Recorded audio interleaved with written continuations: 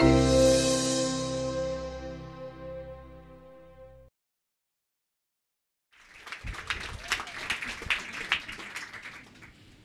well, good afternoon and welcome to a very special Talks at Google. I am delighted to have the three principals from Wicked here. We've got Sophie Evans, who plays Glinda. Give it up for Sophie. So, Sophie's mom is also here today, so we're very glad that everyone clap can to see what's going on. Alice Fearn, who plays Elphaba. It was Alice's birthday yesterday, so we can maybe sing her happy birthday later. and we've got Bradley Jaden, who plays Fiyero.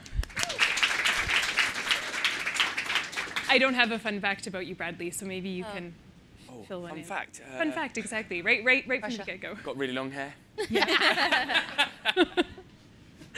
Amazing. So the way that today's event is going to work is we've got 45 minutes with the cast. Um, we'll open it up to questions halfway. As Rob said, there's a microphone in the middle. So please get ready to go with your questions. I'll let you know when it's time to start moving there. Um, and then afterwards, there's the opportunity for some photos. Uh, we've got props at the back, which I think most of you already seen. Um, I'm really excited about today. So I'm going to start with a quick overview of, I guess, the Wizard of Oz universe. In 1900, Frank Baum wrote, write, writes a book. In 1939, we've got the famous film with Dorothy and Toto and her ruby red slippers. And then we flip to the witch's perspective in 1995 with the novel Wicked, the life, life and times of the Wicked Witch of the West, which turns into the musical that you all know and love, Wicked, the untold stories of the Witches of Oz. So, first of all, these are some iconic characters, and they have been originated by legends. Idina Menzel, uh, Kristin Chenoweth, who was in London recently, and I'd love to hear about what that was like. But how do you work within the existing Wicked universe? How do you do this? How do you take these characters and really make them your own? I think it's. I think it's. Sim- I think for me, anyway, it's quite simply just. Whenever I have ever played something that is iconic or has been played before by other people, I think you just go back to the book, the story, what was originally written, and I think you from there find your version of that person and and why she reacts or he reacts in whatever ways you from what you read and what you learn from that person. So um, I think then you're not controlled by people that have done it before or, or the way that they've played it. And in, and in fact, all you do is create your own version of, of them. And, um, and I think then they become very true. Um, I think they're very real. People can relate to that, that person quite well. So I think as long as you go back, you know, it's, it's, it's just go back to the script and go back to the words and what was written originally. And I don't think you can go that far wrong. I love it. With Kristin in the audience last Yes. week. That was crazy because as a um, teenager, she was the lady that I listened to singing popular and I wanted to be exactly like her. And with her being in the audience, I probably did put a few Kristin Chenoweth accents on everything because I just think the way she did it was fantastic. But yeah, like Alice said, it's, it's keeping everything that was there originally but bringing yourself to the role as well because you don't want to see a carbon copy every single time you go and see a show. it's No, nice to see a, not. someone's personality injected into the character. So, what do you think you bring that's unique to the role? Um, I think I bring. I try to be really truthful. Um, I'm very clumsy in life in general, so I bring that kind of ditziness to it quite naturally. So is, that's is that true, Mum? Yes. yeah. Okay. Fall, I'm a baby giraffe. I fall over all the time, so that's great. Um, but yeah, keep keeping the truth of Glinda, and um, everything is. It comes from a good place, even though something she Yeah. says might come across as a little bit catty or not quite what it seems, but it does always come from a truthful, good place.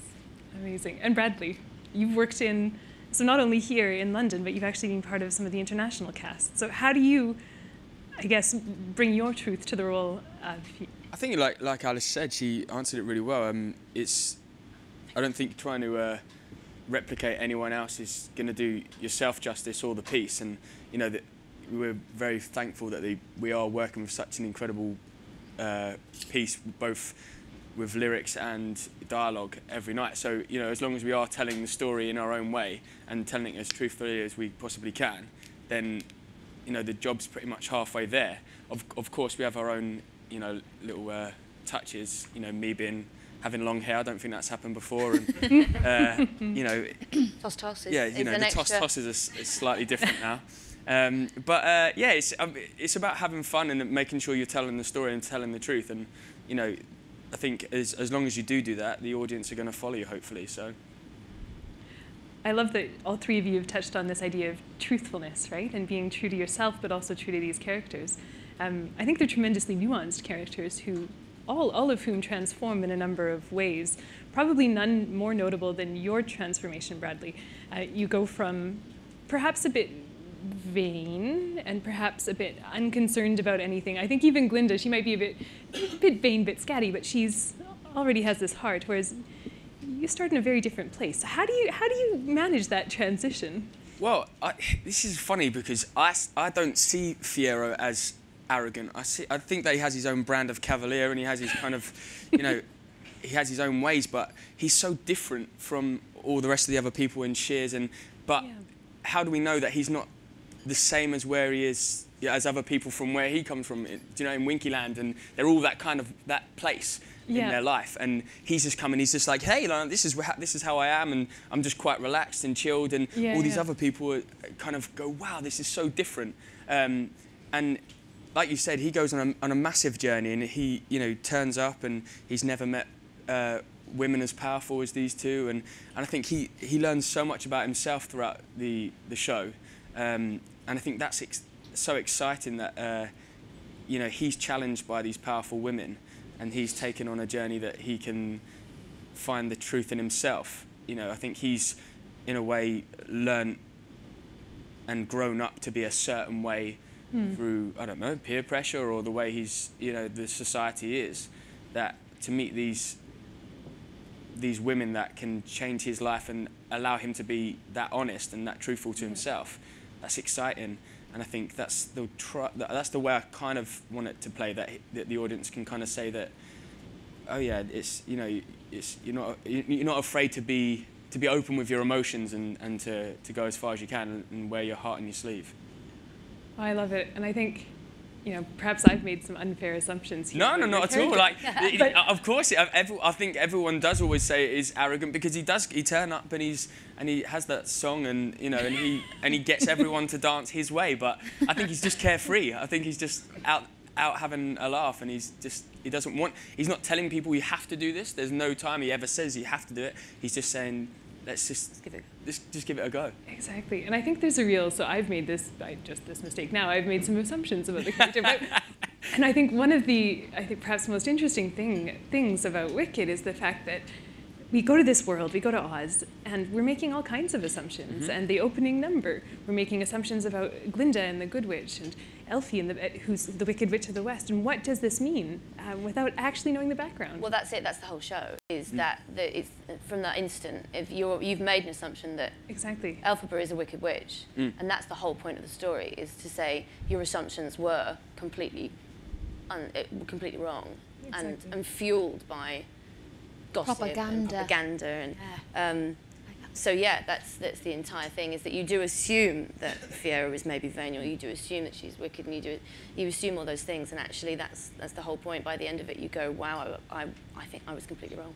and that's what I, I I'll go, sorry I go back because I get excited by this question when you are you know presume something it's the same as the poster when you look at the poster in this day and age you see wicked and you see the green witch and you see the white witch but not one part of it does it say the good and the bad witch? Do you know what I mean? You, you could actually say well why is the the white witch whispering? That's a bad trait. Do you know what I mean? The green witch you know why why is the green bad when you know in certain countries green is a lucky color? You know why Yeah, is wicked you. bad when in this day and age people wake up and you're, ah, that's wicked, that's cool. So there's so many different, do you know what I mean? Like there's so many different things that you look at that potion and go, why in, in this part of our life do we see that as, as, as a negative, as that green, that green person is the negative? And that's what is, is so exciting about Wicked, that by the end of it, you have completely changed all your expectations. Absolutely. And in some of, some of the posters, you can also, the, the White Witch is not entirely visible either, right? So you've got this really interesting moment where you think, well, what is going on? Yeah. We don't know. No idea what is going on. Um, and I so, think, what are you whispering? with- yeah, That's a big question for Have me. you thought about what that? are Yeah. you whispering? So I, I would love to know the answer to that question. So I feel like if there are any two people in the world who can answer that question, they're right here on just stage. said, I'm, Exactly. I'm hungry. Probably. Which is what we are. Yeah. Absolutely starving at the end of that three hours. Oh, I think that brings us to a slightly lighter question, which is how do you prepare? And how do you keep the energy for such um, a demanding run of shows? I like to not have any rituals or anything because I know there's some performers that have a certain thing they do, but I'm not the one that wants to create those things. 'cause then when you're not able to do those, Yeah. like make sure you have 10 minutes with your eyes closed or anything. Like I don't believe in it. So I just have a normal day, wake up, have breakfast, and then go in and do the show. Keep it cash. Um, keep it cash. Um, I, I don't. I don't tend to do a marathon or anything before it. I tend to do. You know, I do tend to rest to some degree during the day. Um, I think my. I've always loved sleep, but um, I. Uh, I do definitely. If I've had a bad night's sleep, it's a it's a somewhat bad show or a difficult show for me. Um, I think if I don't get a, a really good night's sleep, I do find that my voice can tend to um, have a hard time, and I find that my energy levels go. I. I don't worry about what I eat at the minute. Not that I ever really did, but um, uh, but you know what I mean. I'm like, yeah, if it's a huge pasta, it's a huge pasta, and that's what it is. You know, with extra garlic bread, that's fine because I'm going to work it off um, in three hours of running around in those black outfits. So um, I sort of don't. Uh, yeah, I don't. I don't overthink it. I think that. I think people who've gone before me, if they have, I think they actually probably find it harder if you overthink and Yeah. sort of worry too much about it. Yeah. At the end of the day, it's not heart surgery, as we always say. You know, you're not saving lives. You're just trying to make someone's life that day a bit happier. So you've just got to remember that, really. But yeah, I don't, I'm the same. I don't have an awful lot of rituals. I just like eight hours. Yeah. yeah. That's it. Well, given the number of shows you do per week, I, I can see why you need your sleep, and I can see why uh, extra energy from pasta or extra garlic. Yeah. Oh God, is get the to go. carbs in. Yeah.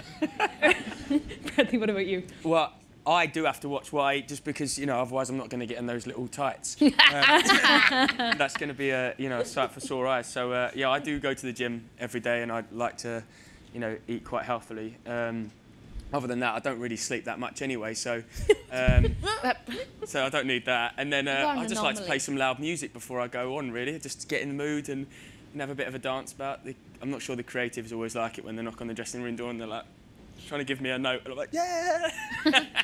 So now, now the follow-on question clearly is, what music are you listening to? That causes people to say, "Oh, what's going on?" Got quite an eclectic. Um, Yeah, I, I mean, I, I have a quite a range. I'm, I'm not, I'm not, I don't, you know, I like, I, I will listen to everything, but I do before a show, I do quite like listening to a bit of hip hop and grime. Yeah. You know, Amazing, amazing. And grime. I don't even know what grime is. Hip hop and grime. so yeah, yeah. Oh, I could talk about grime for hours. Did you? Hello, yeah. I don't even. I Sing couldn't. us a bit. I haven't got a clue either. I'll Right. play you some. Okay. Okay, okay. okay. so perhaps after the show, we'll all listen to some hip hop and grime. Yeah, I'll type that into iTunes. yeah. Yeah. Grime. Type it into Google. Hey. exactly, exactly. so we've talked a little bit about how it's a female-centered show, and you brought that out, Bradley. But what's it like actually playing these tremendously interesting, complex women? Amazing. Um, I actually feel like you teach an audience things that you learn in the show. I learn stuff about being a woman throughout the show and how, if, if you've not seen the show, Glinda, she's from a very, um, from a background where she gets everything her own way and she thinks that's how life's always going to be. And she goes to school and you find out that school isn't isn't as easy as being at home with your lovely mother and father who give you everything. So you learn that you don't always get your own way. And I think that's a great lesson to teach people, young. I love it when children come because I think children look at it a different way to adults as well. Um, so to impose those lessons is, is quite special. And I learn all the time in the show. So yeah, it's special. wonderful. Um, well, it, it, Elphaba, uh, the, the part is, is a fight. It's a, it's a, you're constantly fighting from the moment you sort of get on stage. So um, it's, um, in, in many ways, the, the draining sort of quality that you have at the end of the show, especially in Float for Good, is, is very real because of the fight that you're constantly you're playing for two and a half hours. This fight to, well, be normal um, uh, is... Uh, is that from the second she walks on, you know. So um, I find it draining in a really positive way, if that's the thing, um, because that fight and brings out actually wonderful things for her, a friendship that she'll never forget, um, the love of her life, Uh, you know, so she gets a lot out of out of those fights, as well as losing an awful lot at the same time. But the, the story, we always get quite um, emotional by for Yeah, good, and I think it's because it's we have been through an awful lot, and we've played the um, we've played our stories full out. You know, we've we've really gone through the motions and really had to, you know, uh, emote and um, yeah. And I think fight is the is the classic word for me. It's you know we've had to sort of we've go through so much Yeah. that that is an amazing sort of feeling to play. And although we might be tired and although we might need to eat a giant pasta at the end of the show,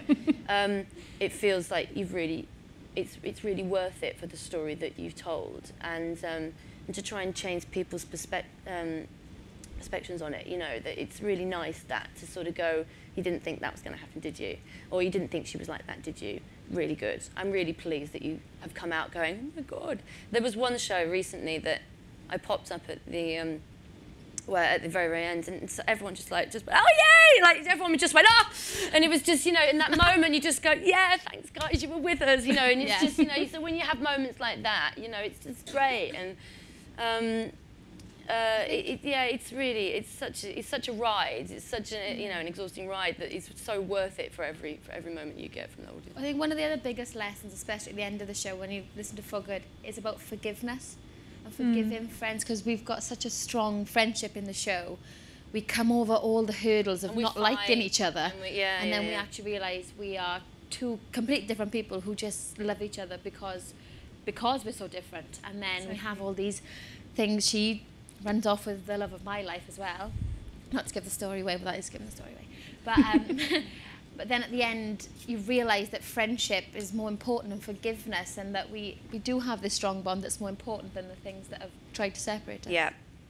Exactly. And that real life is messy, right? Nobody is perfectly exactly, good. And life nobody is is messy. evil. Yeah. No, Yeah. yeah. no life is So true. perfect. No.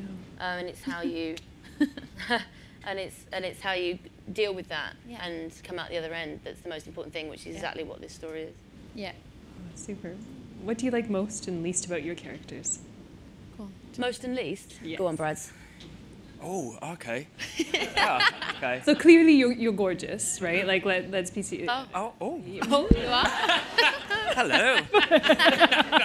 um, oh goodness. Um, I don't know. I, I, I do love the way that he just.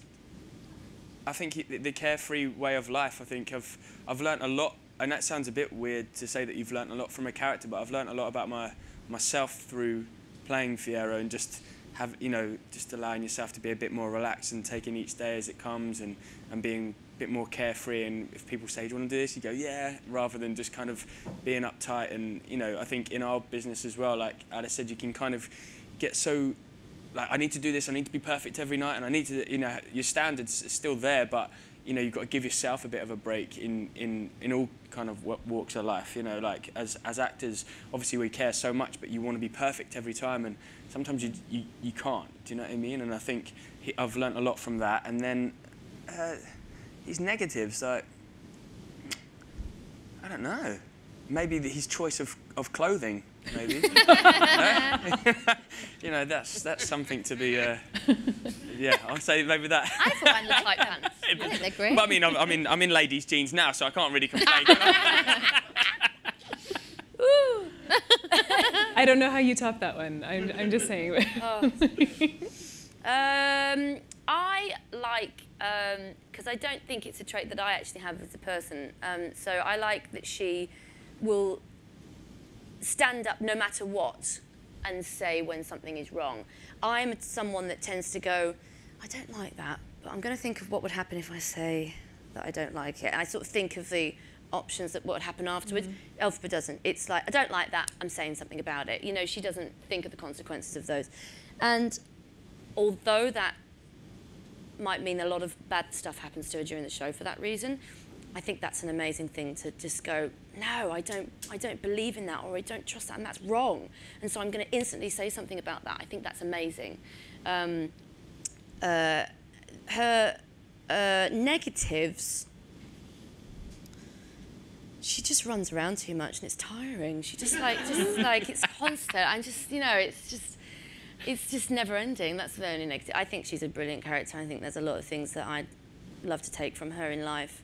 Um, I, you know, there's not many. Not, it's not many. Neg- I don't even see I don't being think there are green as a negative. both the girls. I don't think even being green is, I see as a negative. I think it's fabulous. I mean, in fact, I think I look better green.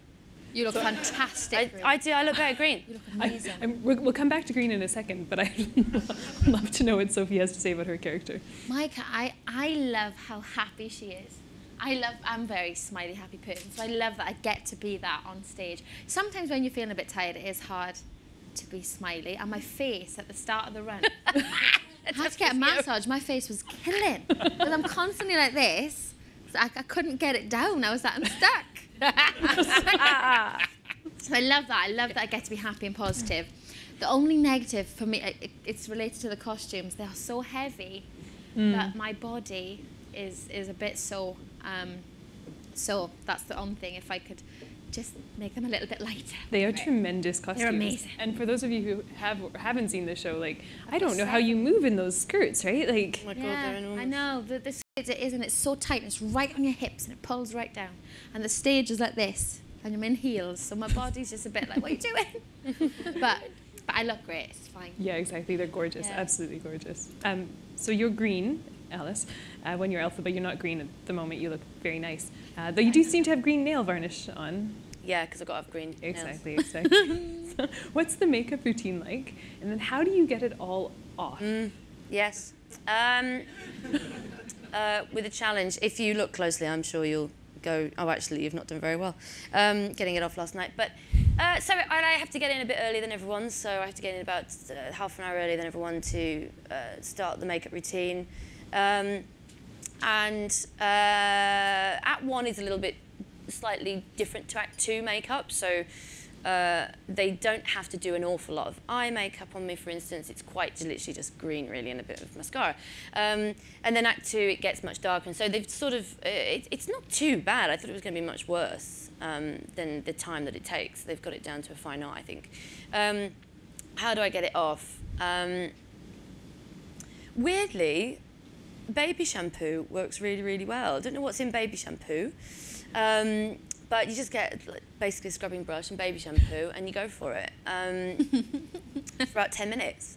And uh, it all eventually comes off. It is water-based makeup, so um, it is willing to come off. But yeah, I mean, after a two-show day, that's really bedded into that skin and those pores. So uh.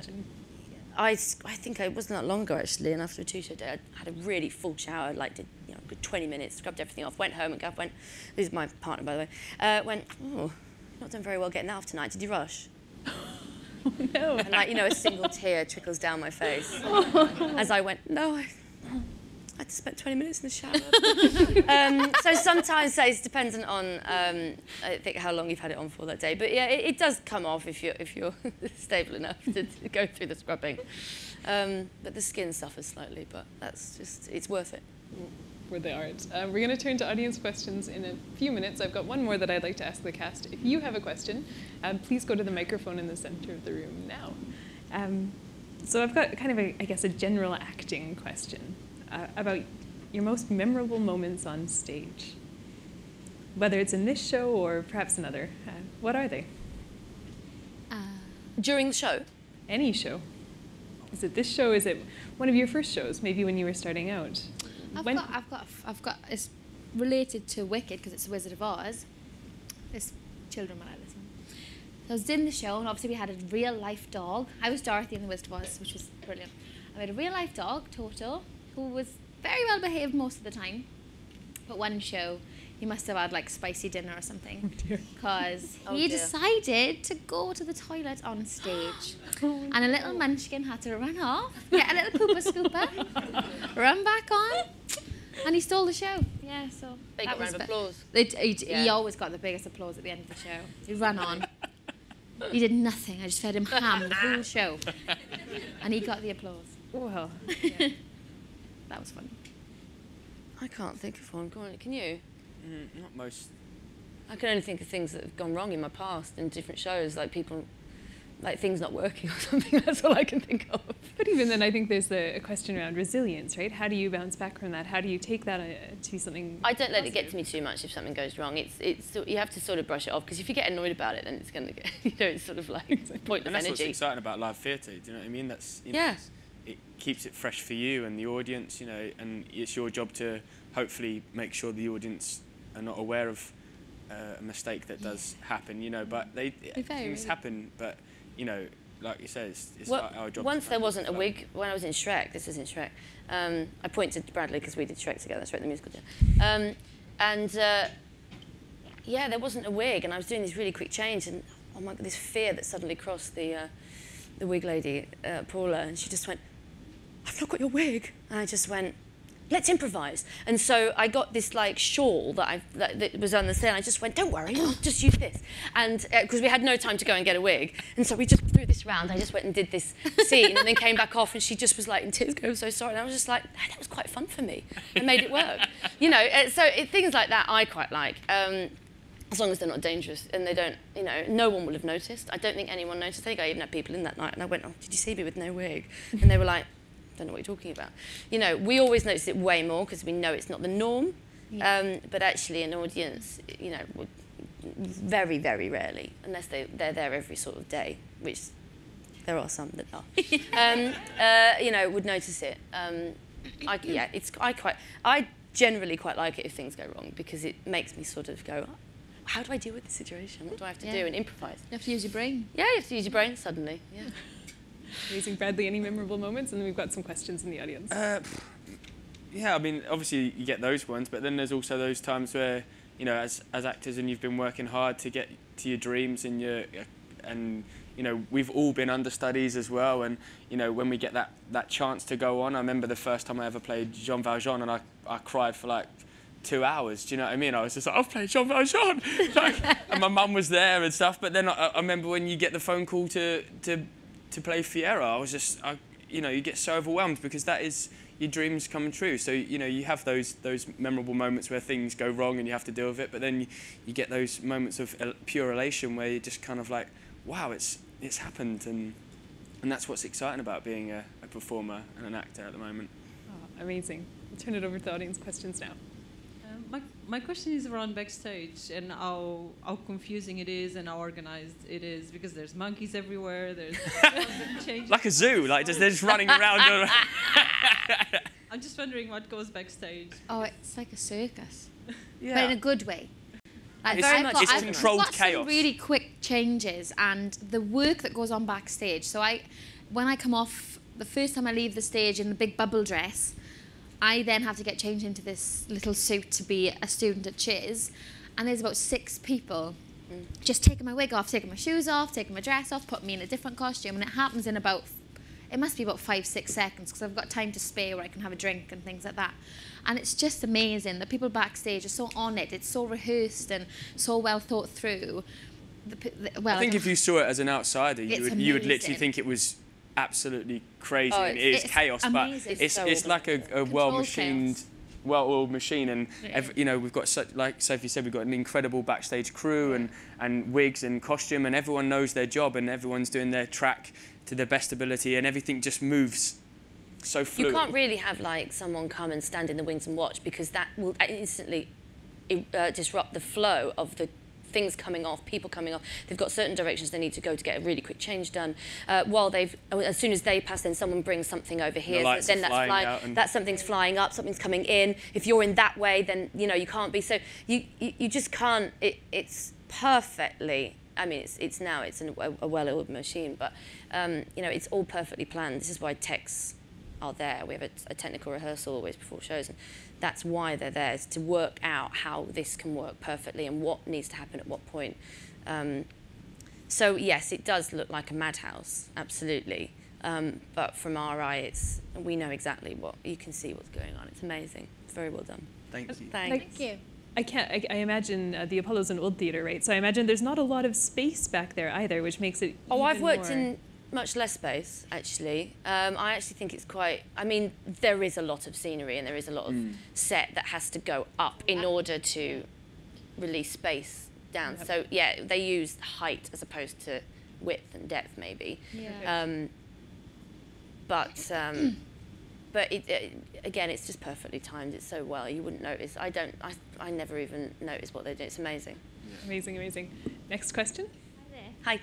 Um, I'm interested to know what happens once the show's all finished. So, do you start auditioning for a new show, or do you have some downtime, or do you travel with the show, or yeah? I'm interested It can be any of those options. Yeah, literally all of them or you none don't of them. know. Yeah. Like we would all, assume, unless you want a bit of time off, audition for a new show or TV or whatever you wanted to do. But there's no guarantee you'll ever, ever work again. Yeah. really. there isn't. There There is really that. isn't. Cut and There's yeah. not. It's Yeah. really, it's really fickle. But um, Uh, yeah, you start. you- You've always got a contract, so you always know sort of your end date, um, as it were. Um, whether that extends further than that, you just don't know. But um, so yeah, as you get closer to that, if something's available after that end date, then yeah, you start auditioning for it, with the um, just sincere hope that you get it. Um, uh, th- I do always like. I, I, I've been working for about 13 years now, and um, I always go through a phase that once I'm getting towards the end of a job, I want my evenings back, and I start going, oh, I really can't wait to watch Coronation Street at 7.30, you know what I mean? So you sort of get that feeling and you, you go, oh, I'm going to do that for a while, and, and maybe you fill your day with whatever work you do, you know, sessions or whatever, or items. I teach a lot, and, um, and then I do that for a couple of weeks, and I go, now I'm ready to give my life back to a show again now. Do you know what I mean? So you take your so you, so I go through that cycle every single time pretty much, and I've done that every single time. If someone said to me, Alice, you finish on Saturday night, and Monday you start that, I'd be like, oh okay. because because actually that's not ideal for me. I do like to have a bit of a break, not because I don't love theatre in any way, just because it's good for the. I think it's Yeah. good for the brain mm. to have that change up because it makes you appreciate each time when you go back into a show. That's just my my thing. Uh, well, kind of touching on that, I mean, I, I've been very, very, very lucky since uh, I did Shrek with Alice. I, I did Shrek, and then the, I finished that on the Saturday, and on the Monday I started Ghost. I finished that on the Saturday, uh, and I started um, Les Mis on the Monday, and then I did that, and then did the Wicked on tour, and then finished that, and went straight into this. So I, I actually, since we did Shrek in 2012, I've not had a. Someone's That's talented. But it's just been a lucky thing I had a because. five-year gap. talented. I watched No, Just Street. really more talented than you are. Okay. Well done, Bradley. It's not that. I'm just saying. What can I It's say? not just saying, but I would sometimes really like a bit of downtime and have and watch Coronation Street. Stop being so talented. Getting all the jobs from everyone else. No, but yeah, I don't know.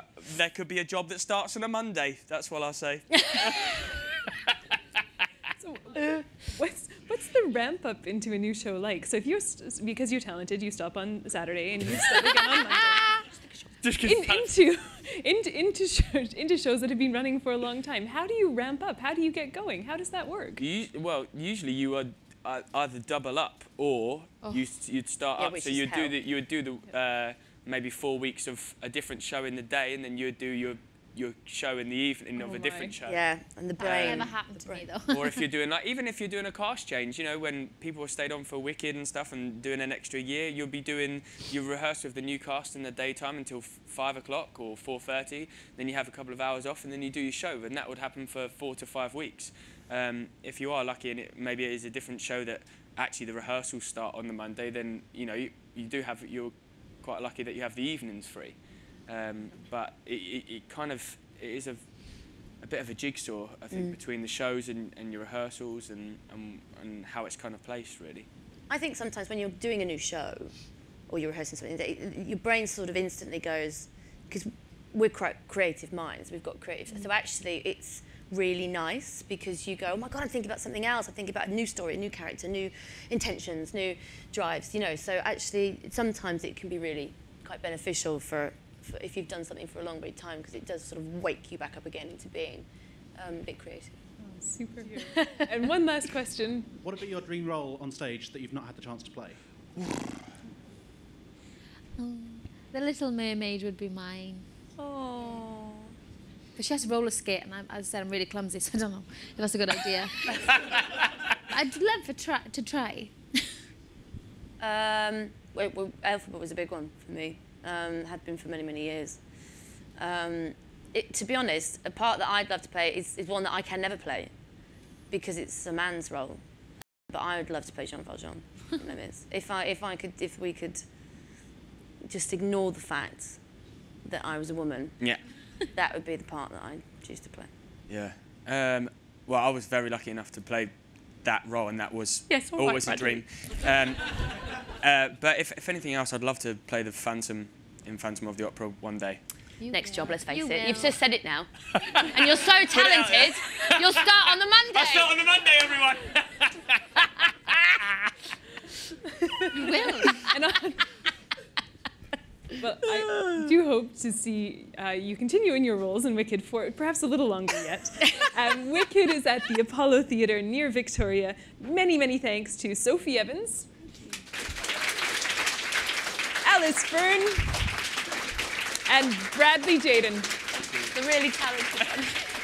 Very talented. Brad. Thank you very much for joining us. I think the cast will uh, pose for some pictures now. Yeah. Thank you. Thank you. Thank you.